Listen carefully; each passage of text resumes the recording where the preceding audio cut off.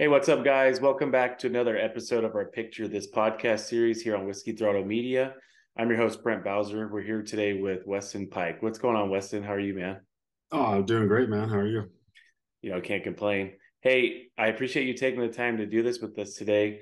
You know, you're a long time, you know, journeyman privateer. I mean, you, man, you were a privateer for a long time. You know, finally got the opportunity on a factory team for you know RCH as a fill-in, then JGR for quite a few years, and you know had really good results over the years. And I'm sure you know as much as I thought and you thought you deserved a factory ride a lot sooner, but you know you finally obviously got that opportunity, got on the podium, had good results over the years. So um, good career, and we'll kind of jump into that. But before we do, and you haven't raced in I think it's five years now what what has life been like since you know you aren't racing anymore and you're kind of just living that normal life? Yeah man it's been it's been different you know going from that daily grind and you know just having that perseverance you know every day from racing. And then it all stops you know and you're kind of figuring out what the heck you want to do with life and how to how to just you know occupy your time. And that was the hardest thing for me was just waking up every day like not having something to do you know so then it was just you know it took about a few four or five months just to kind of get rolling and you know figure out a game plan but i mean i i had a vape shop that i had opened up back in 15 uh, with my dad and family and stuff so we had that which i wasn't really hands on with that and then post injury um i ended up opening a furniture store in california so I, I was you know running managing a furniture store in Perris california for three years so that occupied my time so i went from you know, just waking up figuring out what the hell I'm gonna do every day, you know, yeah, and yeah, yeah. went to just straight up grinding at the furniture store, you know, you know, building the place up, you know, doing everything from sales, deliveries, just because it was a small store. So, you know, to make as much money as you could, you kind of had to step in and do, things yourself. Yeah. And, mm-hmm. you know, just to pocket as much as you could. So, but other than that, man, it's been it's been crazy. You know, I can't believe it's been four or five years already since the injury, and you know, still here, still busy, you know, clicking away with fly racing and WPS and doing ride days and clinics and, you know, staying busy and enjoying life as much as I can. So, yeah. And you got new babies, too. that keeps you pretty busy too. So I can only imagine, you know, with yeah. all, all the yeah. stuff that you're trying to do, and then obviously newborn and stuff like that, it, uh, not a lot of time on your hands as you probably thought you might have. Yeah. Now with the newborn, it's, it's it just turned a month on this last Thursday, so it's been a chaotic first month of travel and parents and families, and you just sit there and think like, have I slept yet? You know, like, yeah, I, yeah, you know, yeah, it's been crazy just trying to kind of juggle and, and, do all that, but it's it's exciting. It's it's frustrating for sure at times, you know, because you go from, you know, living your own life, you know, and then all of a sudden it's like, oh shit, I have a kid now. I got to take care of the kid. You know, you got to make sure this is done, that's done, and you know, people that tell you that, you know, you take it for granted until you actually have You're like, oh yeah, that's true. You know, I can't just go do this when I want to. Yeah, and they don't come with instructions, so you're kind of you know trying to figure it out yourself. Obviously, everybody can help you out, but um, it's it's inter- it's gives you a new perspective when you're uh, responsible for taking care of a another human being, for mm-hmm. sure. yeah, definitely. Well, cool. So I want to jump in. I picked some I thought were interesting photos over the course of your career. I mean, you actually had quite a long career. You know, you turned pro in 2000, um, 2009. You did your first race at Glen Helen. But before we talk about that race at Glen Helen, I kind of just want to talk about, I mean, you weren't like the next big thing as an amateur, right? I know you had that uh, your last year at Loretta's. You you went in and you won the, I think they called it the motocross class back then, right? Because they had it wasn't 250 and 450, but you won the B stock class there. Um, mm-hmm. Um, you, you, know, I think you're racing against Malcolm Stewart, but you kind of you're like you were fast, but you were just a late bloomer, or you just weren't on the map, right? So, did was there like a time or a year that you're racing that you just you know improved so much where you, you knew that maybe you could do this on a professional level? Um, yeah. So that whole my whole background was kind of crazy because I never, I never, I never grew up even considering racing, you know, as an amateur, let alone being a professional later on in my career. But it was more just kind of, you know, quick background is obviously I went to regular school. We always we always rode as kids and everything and all that, raced, you know, local stuff back when we were kids, and then um, went off into our own, you know, family stuff, river, uh, Glamis. All that had fun, and then I ended up getting kicked out of school ninth grade. And then my dad was like, "What are you gonna do now, dumbass? You gonna come work for me, or do you want to race?" So then that's kind of like the short story of how this came about. About 0, 05 or 06 is when I started. You know, had a trainer, kind of just jumping back into stuff, and then uh, from there, fast forward to my last year amateur at Loretta's, I was with uh, Rock River Yamaha, had a Yamaha support deal. Um, won Loretta's with me. Yeah, it was me and Malcolm Stewart. We were going at it all weekend. Um, won the 250B. Then Yamaha dropped me. For it was like, because we were talking about for next year, Yamaha, I believe, dropped me going into racing amateurs in 2009.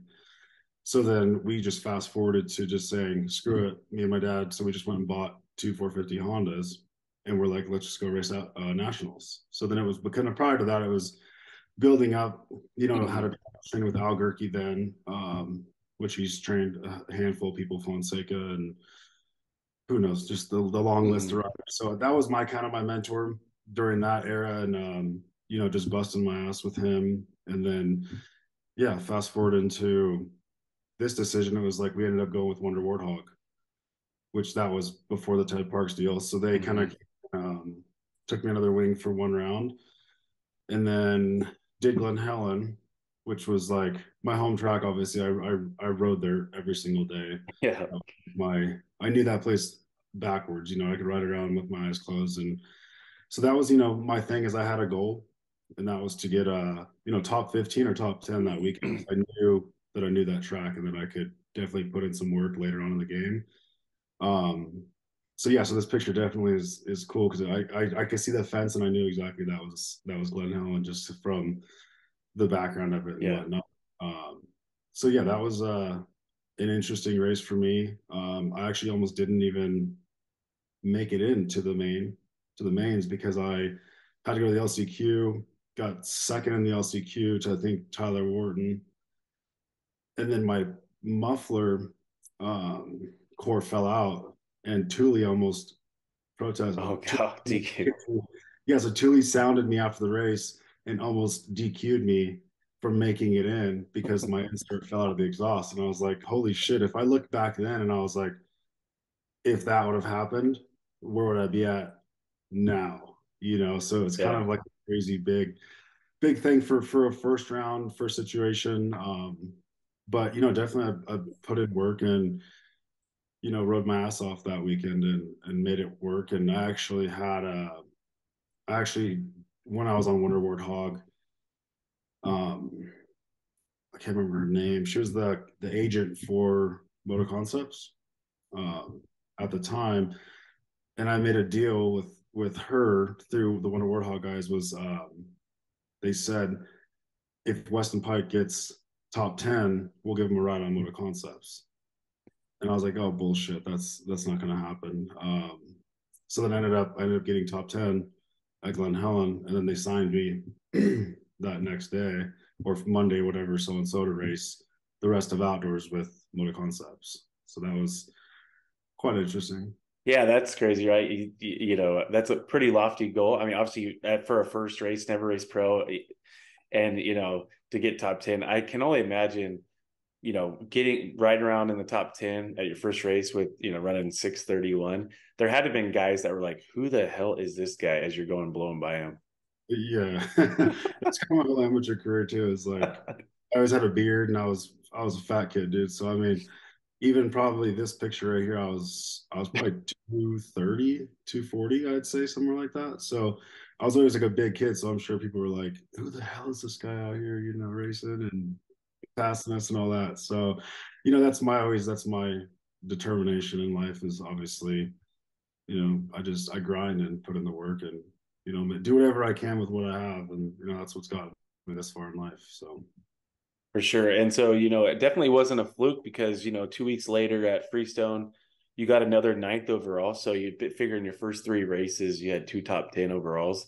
Um, and then, I mean, again, we talked about oh, you had a this is 2009 you went 2010 11 12 13 still getting good results still I mean, as a privateer effort, obviously, I know at the last year you had that Suzuki, you built kind of built your own team, but before you and we before we get to the next picture, did you think that your results over those years warranted you a factory ride? Was there ever did you ever get close before and it just never it never came to fruition, or was this kind of crickets the whole time? Yeah, that was like my that was the thing that I still could never figure out to this to this day was like I always had potential. Like I, there was always potential in my riding, but like there was never a team that would want to sign me. I'm talking factory team. I'm talking. I had offers from you know privateer teams and satellite yeah. team, but I just knew their product was crap. Like that's how I was. I was like, I was always like, I'm not going to take a little bit of money as a pay and then ride a shitty bike that I know is not going to be to my capability of getting me to the next portion of my career. So I always turned down those satellite deals because I knew I could build my own program. Yeah.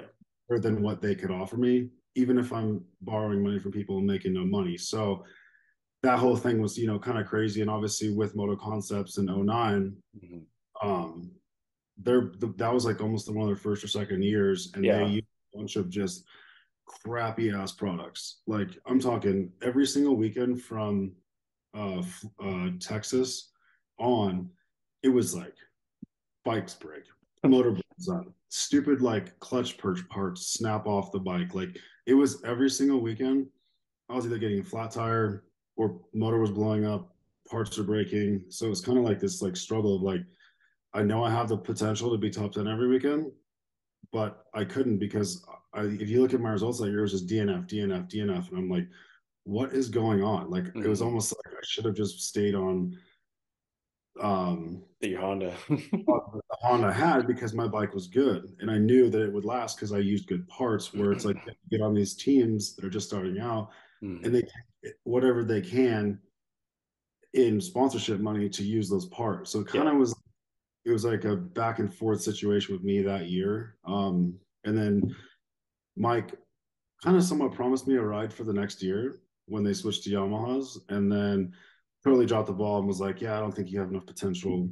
Um, blah blah blah blah. So then that ended up throwing me back in the fucking grinder, you know, with like everything else. And so yeah, it was very interesting, you know, from 9, 10, 11, 12, 13, and then 14, I kind of started, you know, mm-hmm. backing back up and had, you know, good sponsors and built my own team for 2014. So I had a lot of had a lot of ups and downs in those years. I was always top 10. You know, I had, I think 2013 was my best privateer year. I in supercross and the minimal amount of motocross rides I did. I mean, I think I got my best was fourth overall. Mm-hmm.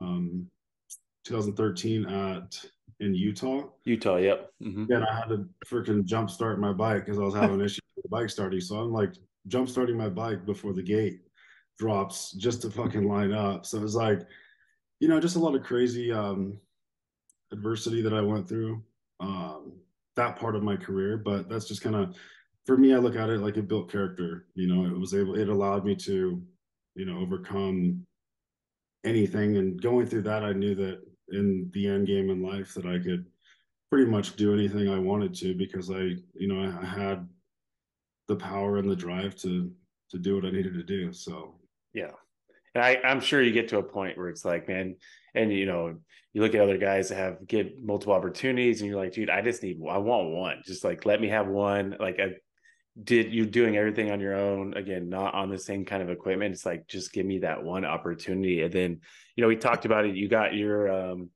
you kind of got a fill in ride with RCH for outdoors in 2014, so that was kind of your first taste of factory, but.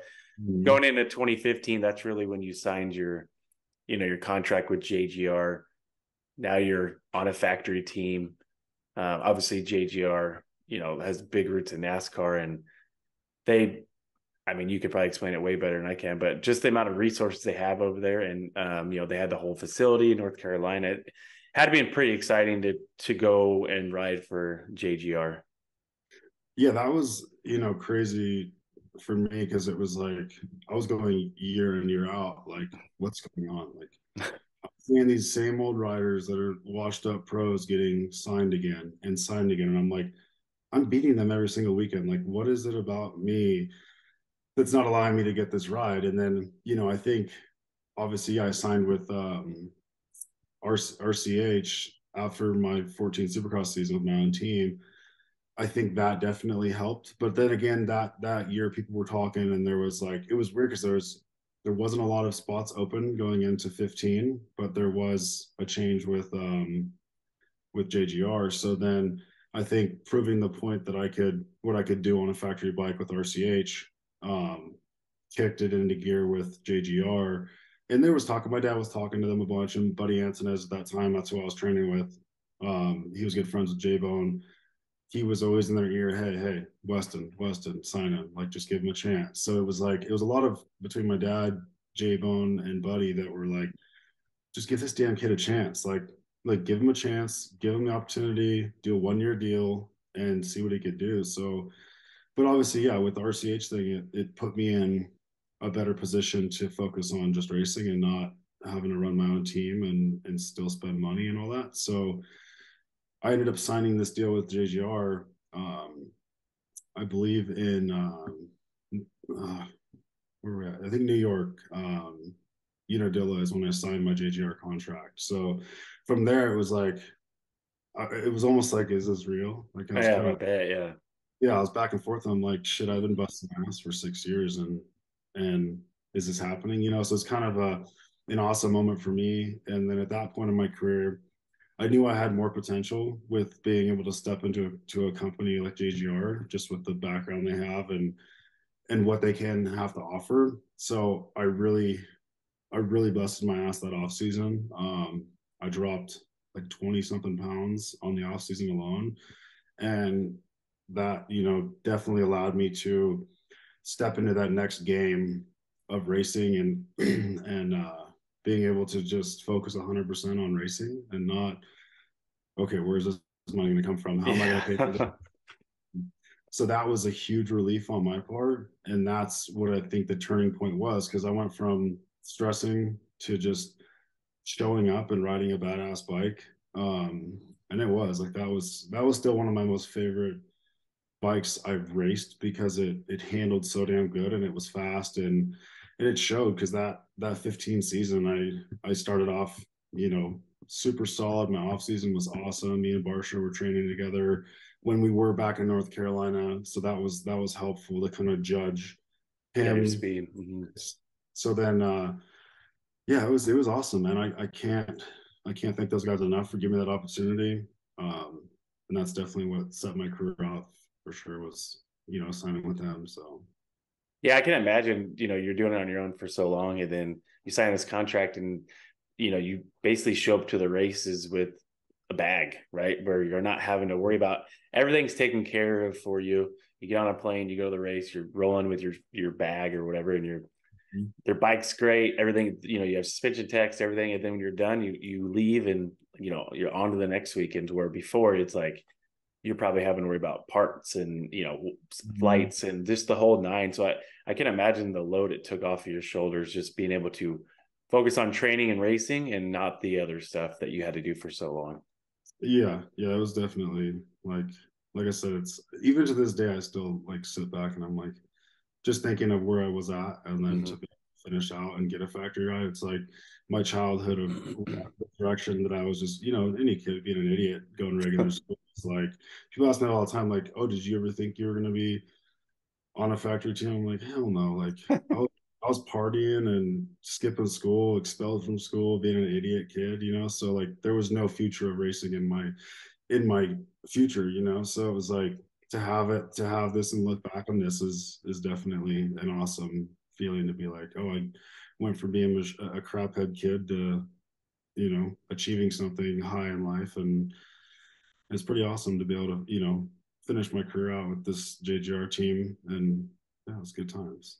Yeah and it's not very often that you see guys come in as privateers and grind it out for as long as you did and then get to the factory level right? It's like really rare you have kids that come in with the factory rides already or or get it right away where i mean again you were going at it for six years really until you got uh, on a factory team and so that's not very common so it's you know and and we saw over the years you know because I, I think we're pretty close to age and you know every year you just got better and better and better especially at supercross so you just kept getting better and you got better and it's it's you don't see that very often. So that had to have been, you know, obviously good for you, but like it's you prove to yourself that you can get to that point where um, you know, you you deserve a factory ride. And then on that same year, you sign with JGR, you get I think uh you got fourth at Phoenix. Um, mm. but you were actually we were talking about before we record. You were fourth at Phoenix, you were actually in third, you passed Dungey, and then I think on the close to the end of the race, you like cased a jump or something and Dungey got you got fourth, but you actually like broke something in your foot or your leg like before mm-hmm. before you got actually at podium in Santa Santa Clara. Yeah, yeah, yeah. That was uh that was interesting because I was like I started off that year strong. We raced Anaheim one. Um and I got punked by Barcia the last turn, I think. He like rode me super high, almost took me out. Like I think the last lap of the main event. I think I got like seventh or eighth, and then um that kind of just lit my lit the fire up. I was like, you know what, screw this shit. I showed up to Phoenix like on my A game, had a solid off season. Um, you know, solid week in between. We changed some stuff on the bike. And then I went into Phoenix just like, you know what? Screw everybody. Like I'm I'm here to race. Like I got to this point and I'm not gonna be, you know, scared of who else is out there or even worried about who's who's lining up next to me. And so from there it was like I hit the start. I hit a good start, and uh, I was behind Dungey for a lap or two, and I saw an opportunity, and you know, passed him, and I was like, "Oh shit!" yeah, let, us roll, you know. And I knew that, and I remember that weekend too that they had some massive whoops, and I was always, I'd always smash the whoops and and you know gain time there. So like having someone like Dungey behind me, I knew where where I had to progress at to stay in front of him and that was like you know there's a couple sections there the key spots that i that I would just get enough in front of him to hold him off. And I and I was so pissed that night because I I was in third for almost I think it was two laps to go and came out of right hand. I remember the whole thing came out of right hand turn. It was like the dumbest step onto a tabletop to step off. And when I came out of the turn, I just I slid my foot out a little too far. And when I landed, it just like my foot just rolled off the peg and it pulled the bone off the outside of my it's like the stupid little bone. And I'm just like, and it snapped the bone off, and I was like, shit. So then I was like, I tried to stay in it for another lap, and I was like, yeah, there's no way with him heating this much pressure, and then a whole nother two laps of whoops. So I was like, couldn't do it. So I made the best of it. Ended up fourth that weekend, then had to take off. I think I missed. I don't know how many I missed, but I no, I ended up going and getting surgery that on Monday. They put the bone back on, did the surgery, and the doctor was like, "Yeah, it should be strong enough for you to ride." So I ended up actually trying to race Anaheim two that next weekend with that. I could barely get my damn foot in my boot. Um, did one lap in practice, jumped the finish line, landed, and it snapped the freaking the bone back off. So then I, I actually flew private back with uh, coach, the main uh, JGR coach, and he flew me back. I saw their doctor they ended up just removing the bone out of my foot completely because they're like, there was no need to even reattach this because it's not doing anything. So they just removed that. And I think I was out for a few weeks and then um, came back a little slow. Ended up, I think I ended up tearing my MCL at Atlanta or something stupid like that or Texas, but I still ended up racing. And then fast forward to um, Santa Clarita or Santa Clara, that's when I was kind of just getting back in my game and, and feeling fast. And yeah, this was another you know crazy thing I never would have expected to to come. I mean, my goals were this. Like I always yeah. made goals in my career. Um, with this guy I worked with, Bill. He said make goals, so I made goals, and this was one of my goals. But it was actually I was supposed to be riding for Factory Suzuki was my goal. Mm. Uh, from privateer was to be factory by 2015 on Factory Suzuki, but it ended up being, you know, Factory Suzuki, J- RCH outdoors, and then I signed yeah. JGR. So then, um, yeah, these were all the goals I made in my career um, to be at, and I hit my marks. And this night was was awesome. I think it was uh, me and Anderson battled a little bit for third, I believe, or something like that. He was getting close, but yeah, to have this, to have, I mean, looking at this picture is, is awesome. I'm actually, I actually have the picture right in front of me on my desk of that trophy. So, um, yeah, cool. Yeah. It's crazy experience, man. It's, it's, um, that year was awesome. And and just to be able to be on the podium twice that year was uh super rad, you know. Yeah, and you look at the two dudes next to you. I mean, no slouches in their own mind, right? The oh, multi champions, and I mean, obviously Eli's still racing, but I mean, to be on that podium, sharing with that with those guys, you know, that I bet you, you know, if you would ask yourself again in like 2008, do you think you're going to be standing next to Ryan Dungey and Eli Tomac on a podium in a 450 Supercross? You'd be like, you're crazy, but you know, get to get there, and then again, yeah, I mean to get third after I mean even having the injuries that you had that year and then you know like you said you you got another podium and and what was cool is you know you had a really good season that year obviously injuries but podiums and good rides outdoors and everything and then um you know you signed with because your JGR deal was just one year right but you you kept that relationship going and and you rode for JGR until you know your end of 2018 when you had that injury so that mm-hmm. had been cool to show that you had that prove me year with that one year deal, but they kept you on, and you know that's someone that took a chance on you, but also you provided the results that you needed to stay there, and it seemed like a good relationship that you guys had. And uh, I know you, you know you switched brands to Suzuki at the end, but it had been pretty awesome riding for JGR. Yeah, no, it was. It was. I mean, it was awesome because I think the reason why I jived with that team so much is because I showed you know the dedication I had of I mean I literally every single season I had it I was racing through an injury where like some of the other riders on the team would sprain their pinky and they'd be off for four weeks. So like I was always the B guy. Like I, I was never an A rider on that team until I think 2018. Then that was like I was kind of the A rider on the team at that point. But I didn't mind being the second guy, you know, like even my first year was like I was second to Barcia. Barcia was was the the golden child. You know, he had the A program. He got anything he wanted. He had his whole crew. But I actually, I'm glad that didn't happen with me because I wouldn't have known how to comprehend that mm-hmm. amount of like people around me. This, that. Hey, you need this. I have ten people in my corner. Like I wouldn't, I, I don't like that anyways in general because I've never had that. So I feel like jumping into something like that would have almost probably made it worse because then it starts getting in your head of like how many things you could actually change. Yeah. So it's like, I just liked, I think I, it was literally me, Buddy Antunez, uh, Patrick, my mechanic, um, Mitchell Key, motor, which, which was motor guy then. And I, I had like four or five people and that was all I needed. And, because if I had any more than that, then I just would have been a scrambled brain, you know, and and to be able to just to have that small dope ass little crew I had and just the the work I put in, it, it worked for us in the team, and that's kind of what I think Coy saw in me was like just that. Hey, if if I'm hurt, I'm gonna show up and race. Like I'm gonna put the bike on the track, like promote the sponsors. Like that was my key thing was just to always be to always be there and not have some excuse of a small time injury. I mean, obviously, yeah, was a big injury, can't race, but if I'm if I'm able to walk and talk, like I'm racing, you know. So that was kind of the cool thing with them is that's what they saw in me, and that's why I think that I was there for four or five years is because of that.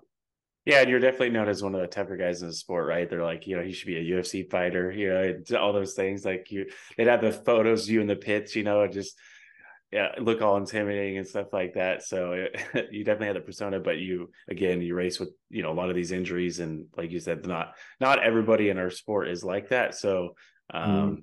you know it's it, it everyone has their own you know unique way of doing things but so you rode for jgr you know all the way through to end of 2018 you know you, we talked about before we record you go into the 2018 off season um, training probably you know training for 2019 and you get a call to go overseas. It was really a last minute deal. We you know we talked about you're supposed to go race a different race that got canceled. Mm-hmm. you know you get a call like a day before um, the Bercy Supercross and so you go over there and then obviously I mean everybody knows that's been involved in our sport you know the injury that you had and you know how bad it maybe they might even not know how bad it was um, I mean, and you can explain everything. Is I mean, how close were you to? And you're and think about it, you're overseas. You're at an overseas hospital. You got language barriers. You got all this craziness. And um, do you actually remember anything from that night, from the wreck or anything like that, leading up to it, or is it all pretty much a blur until you know you woke up in the hospital eventually? I, I don't even. I mean, I remember parts of it. Um, yeah, obviously it was like like you said i had some race i had another race scheduled in japan and that got canceled um and this was a one day advance. Uh, Eric Peronnard called me on like a Tuesday to come over and race, and I had to make a quick decision. I was like, "Yeah, let's go race." You know, the money's great. Um, you know, you're only have this opportunity a few times in your life to do it. So that that just kind of put me to like, okay, let's go do it. But there was always that instinct that said, don't do it because I was I still had an injury with my wrist and I wanted to just focus on the off season because 2018 was another good year for me where I was just getting back on stringing good results. So I was like, do I go and race this or do I just stay home and and stay training and, and get back on, you know, where I want to be on the podiums and stuff. And I was like, you know what, screw it. You're never gonna make this much money in in two nights. So then yeah. I ended up going and uh but yeah, so it was just a fluke thing, man. It's injuries like that really rarely ever happen. But um, I mean, I remember going there. I remember parts of the morning, like getting lunch and all that stuff and doing practice. But from injury on, I mean, dude, I don't remember anything from from then till like I'd say when I was able to actually walk in the hospital, which would probably be 14, 15 days later um past that point. But um so yeah, that was just crazy. And obviously, like you said, being in a different country, huge language barrier, but thankfully we had enough people over there that were able to translate um between Peronnard, his people, uh, you know, Musquin, his wife, Matilda, and all them. I know they all kind of pitched in. Everybody helped out as much as they could just to help with that um, barrier in between. And that was a huge a huge help with everybody and just you know being there for 18 days in the hospital was just chaos. And uh thankfully it wasn't in some of the other countries because i've been in some other crappy countries where i'm like yeah i definitely would have died. I wouldn't be yeah. you know just because they wouldn't have the medical staff like france did. So it's definitely uh, a lot of chaos you know for sure. So yeah and i remember when that wreck happened you you knew they you knew they knew it was bad right away. Um, you could see the way the track personnel was, and and even um, you know some of the riders like they knew it was bad right away. And so, um, I mean, you basically got your head landed on right on that off mm-hmm. step off jump, and I mean, again, frame to a even you could be wearing the best helmet out there, like it, the inertia and the force, like there's not much that's going to protect uh, that kind of impact. And so, I mean, was there a point where they were worried about like you living was that a possibility like i don't even know like if you know it was they, they were able to get you stable right away or how was all that yeah i mean i think there's a lot of concern because it was there was so much damage in my face and and so many breaks and fractures they didn't know okay is is, is he brain damaged is he mm-hmm. gonna yeah you know there was so many different things going through once it was all laid out on the table but mm-hmm. then too it was they induced me into a coma before I believe even saying anything just to for the swelling and all those purposes. So putting you in an induced coma, they don't really know what the hell is happening. So then my parents and everybody else is wondering like what's going on because he's in a coma, so we really can't tell what's mm-hmm. going on back and forth. But I think it was like two or three days I was in a coma, and then um, you know from there, then they were able to figure it out, start doing surgeries, and it was it was pretty crazy because like I said, I don't remember a lot of it. I remember some just having you know crazy you know nightmares and just stuff like that. But um you know fast forward yeah there was tons of surgeries four surgeries. I think it was like a total of 30 or something 40 hours of surgeries. Um pretty much reconstructed my whole face because obviously i got landed on on the open side of my face because when i crashed i was laying on my back and it was a step on step off and another rider landed with their frame on my face. So it was like